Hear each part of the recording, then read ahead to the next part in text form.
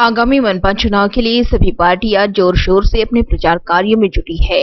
सभी पार्टियाँ अपनी जीत हासिल करने के लिए एड़ी चोटी का ज़ोर लगा रही है। महानगर पालिका चुनावी मैदान में उतरे उम्मीदवार अपना भाग्य आजमा रहे हैं। मनपा का चुनावी प्रचार गरमाने लगा है। उम्मीदवार व कार्यकर्ताओं ने डोर टू डोर प्रचार शुरू किया है। जगह जगह ज़ाहिर सभा का आयोजन किया जा रहा है।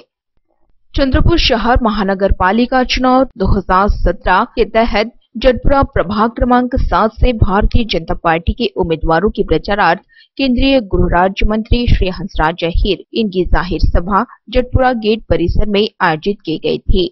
सभा दौरान केंद्रीय गृह राज्य मंत्री Shri Hansraj Ahir doctor M J Khan, Rahul सराफ, चंदू महाराज त्रिवेदी, अरुण घोटेकर, रवि आसवानी, रोहन घोटेकर, शीतल किशोर आत्राम छबुताई बरागड़े अन्य मान्यवर उम्मीदवार साथ ही परिसर के नागरिक बड़ी संख्या में सभा में उपस्थित थे।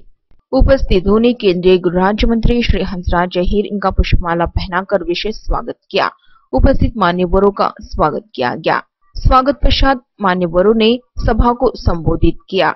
इस समय श्री अहिर ने किए गए विकास कामों के बारे में जानकारी देते हुए अपने विचार रखे।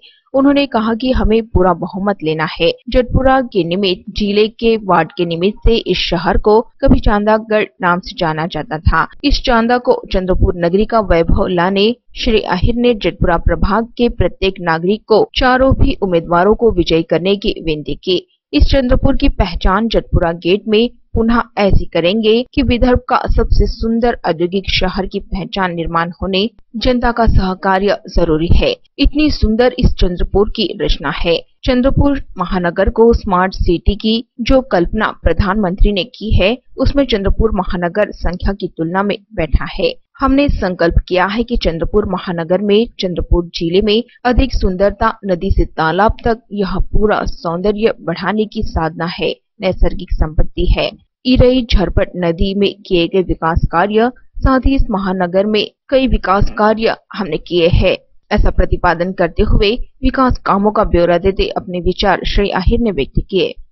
पश्चात केंद्रीय गृह राज्य मंत्री श्री आहिर के हाथों भाजपा प्रचार कार्यालय का उद्घाटन, फीता काट कर किया गया।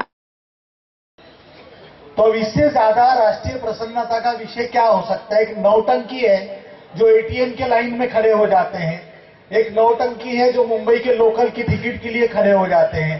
एक नौटंकी है जो दलित के यहाँ पे खाना खाने के लिए चले जाते हैं। ऐसे से देश नहीं चलता, देश चलाने के लिए वो प्रोग्राम चाहिए जो हमारे आदरणीय नरेंद्र मोदी जी ने दिए हैं। आप एक एक प्रोग्राम देखिए। एक एक वचन देखिए, सिर्फ़ बातें नहीं की उस प्रोग्राम पे इम्प्लीकेशन उस पे एक्शन शुरू हो गई है। सबका साथ, सबका विकास सिर्फ़ बोला नहीं नहीं तो एक जमाना था, गरीबी बचाओ, गरीबी हटाओ हाँ समाजवाद लाओ। ये सिर्फ़ नारे थे। इसमें सत्य कुछ नहीं था। सिर्फ़ एक ही सत्य था कि हिंदू को मुसलमान से लड़ाना है और इस तरह से अपना देश चलाना है। इस तरह से अपनी सत्ता बिठा के रखना है। दोस्तों, मुझे याद है एक मरतबा नकवी साहब ने कहा था, दरिया में तूफ़ान क्या देखता है? खुदा है निगहबान क्या देखता है? जो नेता बना है तो इंसाफ ही कर, हिंदू और मुसलमान क्या देखता है? इतकं सुंदर ही चंद्रपूरची रचना आहे इतका चांगला प्रकोट सुरुवात इथून होते. म्हणून या चंद्रपूरला महानगराला स्मार्ट सिटीची जी कल्पना प्रधानमंत्र्यांनी केलेली आहे.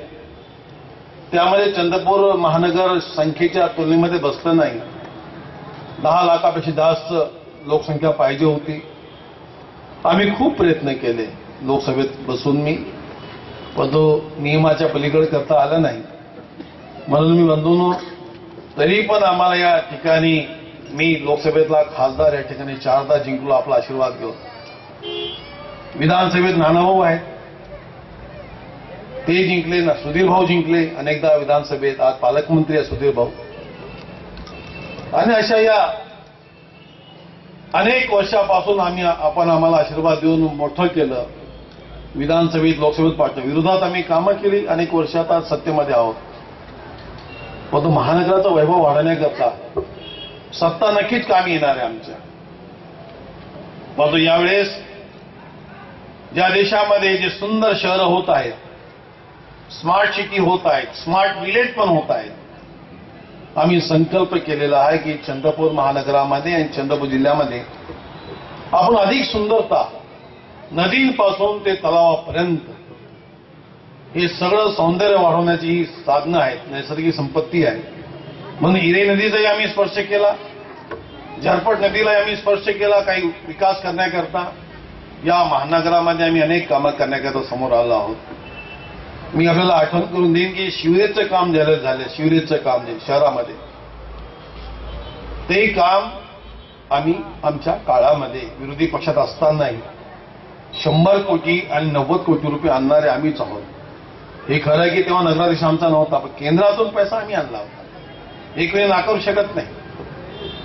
आज या महानगरीमध्ये पिण्याच्या पाण्याचं अडचण असताना आम्ही ना सही स्मार्ट सिटीचा फंड आला पण तो आम्ही अमृत योजनेतून तीनशे बावन्न कोटी रुपये चंद्रपूर महानगरीकरता आणलेले आहेत की प्रत्येक गल्ली गल्लीमध्ये स्वच्छ पाणी देण्याचा आमचा संकल्प होता.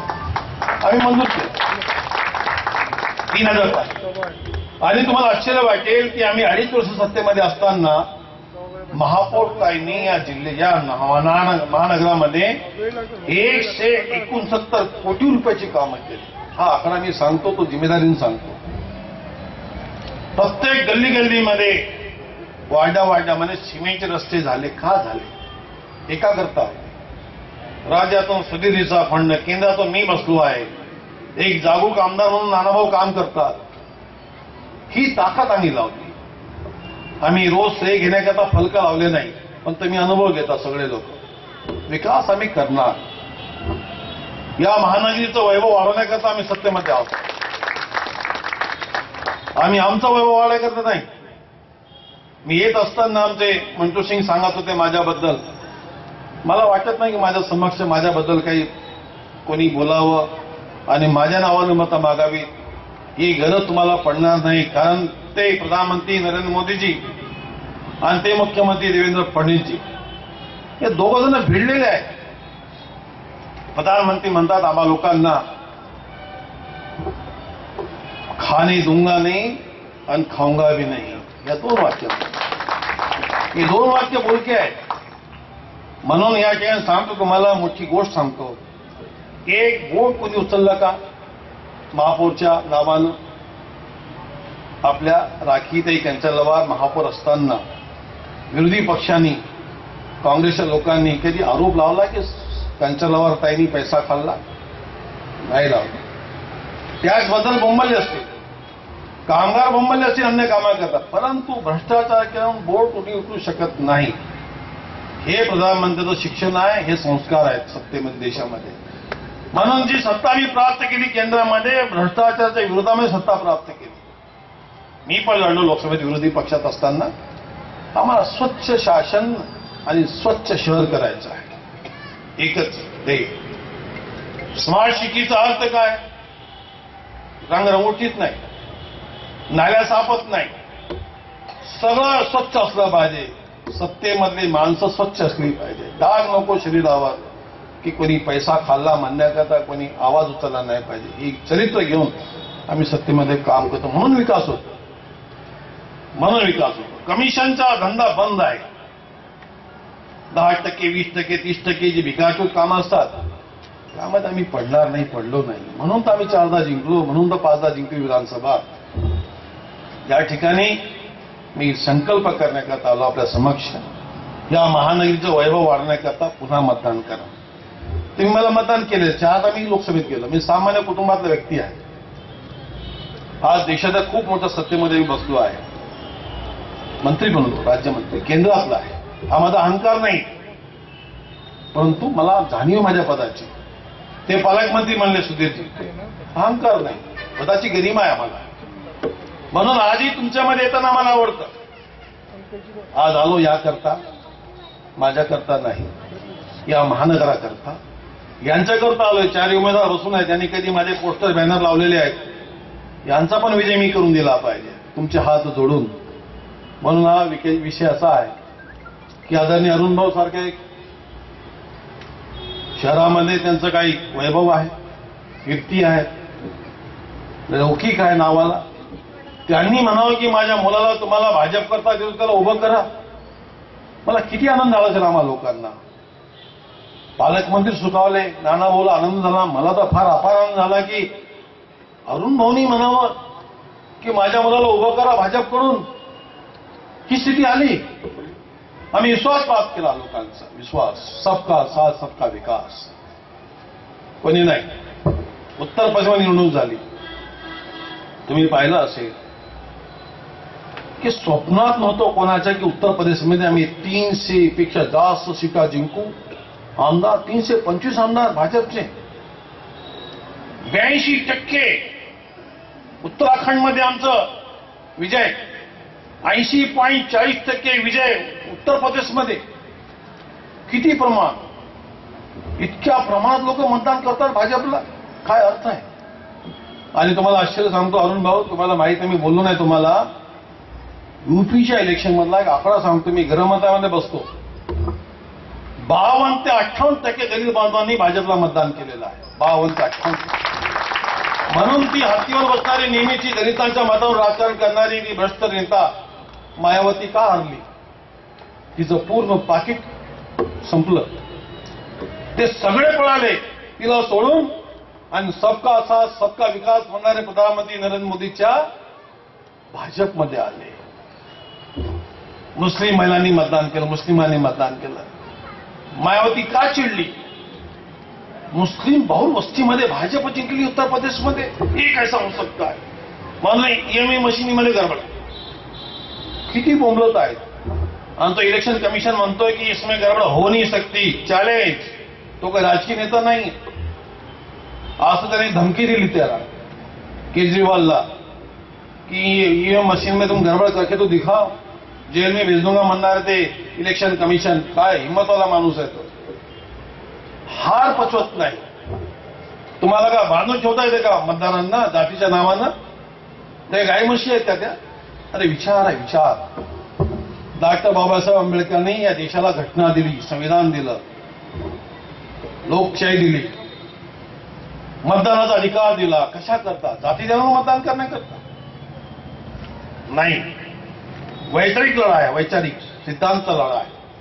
माणसांचा नाही विचारांचा लढा आहे. वैरगळे इथंच आहेत. म्हणून हे सगळे लोक समाजसेवक आहेत. म्हणून यांना मी मदत दिलेली आहे. याचा अर्थ असा नाही की प्रमोद क्षीरसागरमध्ये क्षमता नव्हती रवी लोणकरमध्ये क्षमता नव्हती असा काही अर्थ नाही. बरं का याचा? ते पण मजबूत कार्यकर्ते आहेत. आणि मला किती आनंद झाला. अनेकांनी शीट मागितली ते मंचावर आहेत. शीट नाही दिल्यावरही. यापेक्षा मला आनंद काय? त्याला स्वागत करतो या ठिकाणी मी. नाचताय परिवार.